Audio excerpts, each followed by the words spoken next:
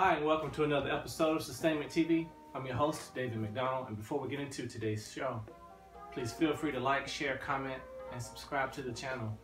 It'll help the channel to grow and continue to be able to improve what I do. But without further delay, let's get right into today's episode. As you can see, I have a guest on today's show. He is no stranger to entertainment in general. His name is David Z. McDonald. Um, his artist name is So Sorry without the second O. Um, he also is a producer of uh, short films, and we, we'll kind of get into that um, in today's interview.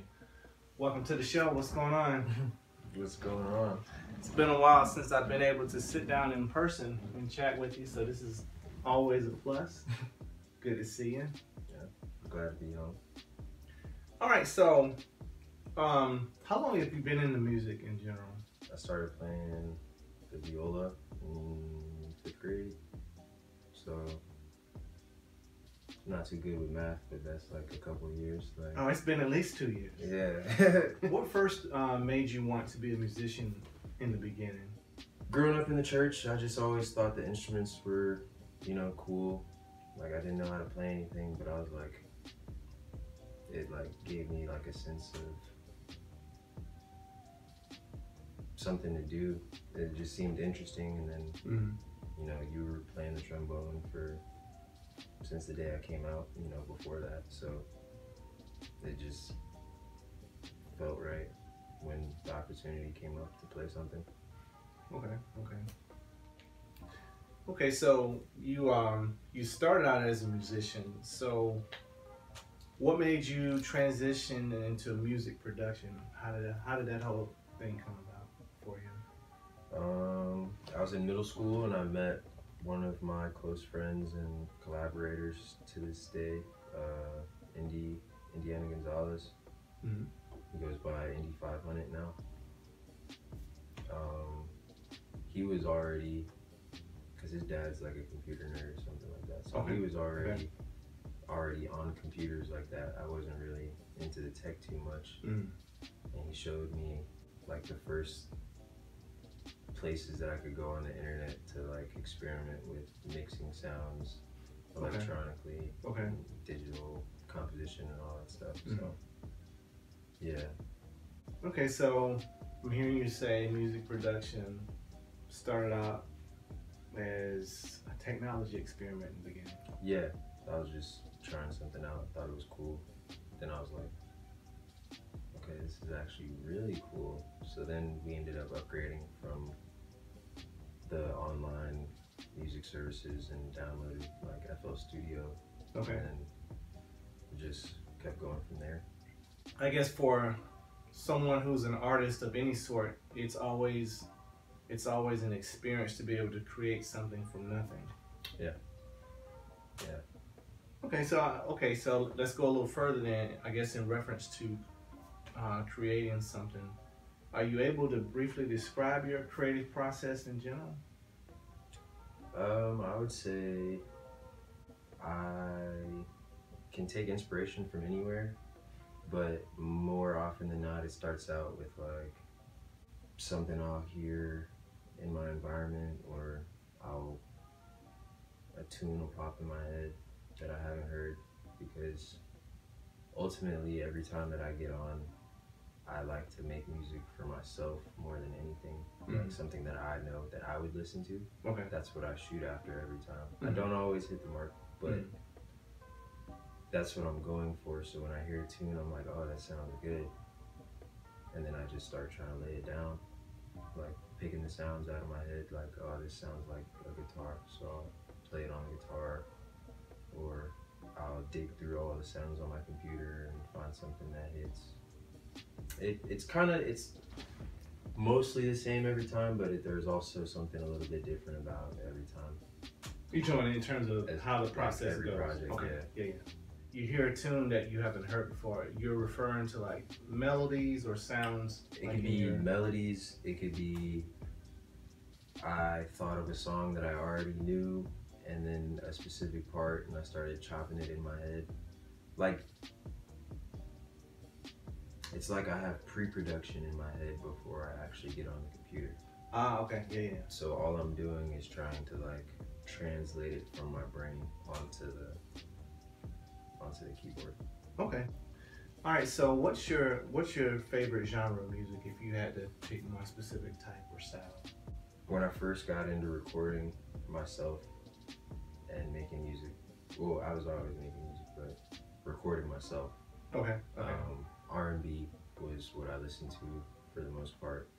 And that's what made me want to start recording. Um, and also, I was pretty heavily rotating like hip hop too. okay. So Okay. hip hop and R&B. Now, would you say, um, would you say older hip hop? Um, well, older to you anyway. Would you say um, 80s and 90s were influential, or would you say further back than that? In No, terms like newer. Oh, okay. So you you okay? So the newer R and B and hip hop is what kind of got you going. That's what made me want to record. Okay. Okay. Like if we're talking about influences and like my beats and stuff like that, that comes from like older stuff. Okay. Okay. Because I gravitate towards more like groovy samples, Mm, mhm. like that kind of vibe. But like once I started seeing and stuff, it was like the the newer stuff, like PartyNextDoor, the uh, the 2010 to like, well not even 10 really, 2012 to like 2016 underground R&B sound Okay. Okay. had me in the headlock for a little bit. Okay. Okay. What should um I guess what should the music world or fans in general what should we expect from you in the next one or two years? Uh, well, right now, I'm just kind of like putting stuff out because I've had a problem with uh, hoarding, music hoarding.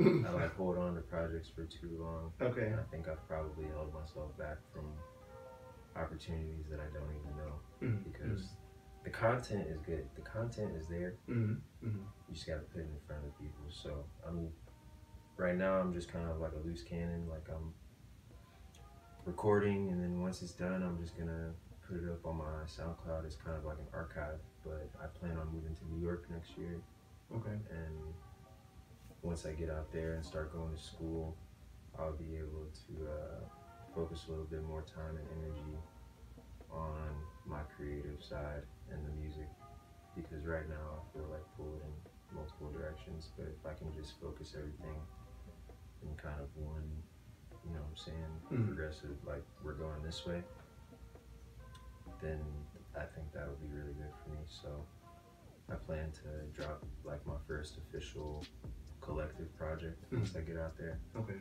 So look for that in like a year and a half, something like that.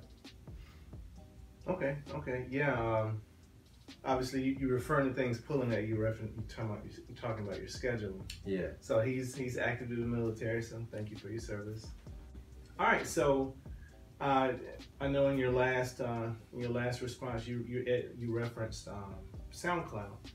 So where should where can people go to find your music? Uh, what platforms are you on? Uh, I have something on every platform Okay. out Okay. there, but right now I am pushing heavily on SoundCloud for the next couple months until I get into that next phase that I was talking about. Um, but I have stuff on Apple Music, Spotify. It's out there. I'm Okay. so sorry. S O S R R Y. That information will be in the description of the video.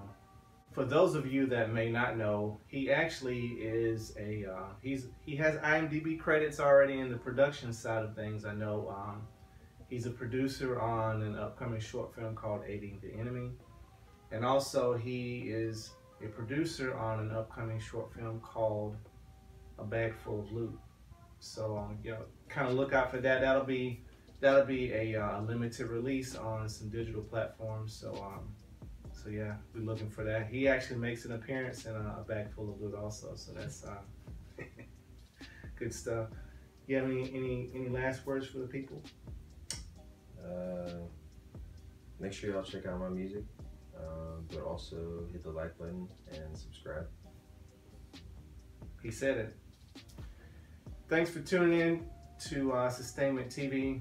Always uh, looking for your comments, your input please like, share, subscribe, and um, all that good stuff. Thanks for tuning in. We'll uh, we'll see you on the next one. Take care.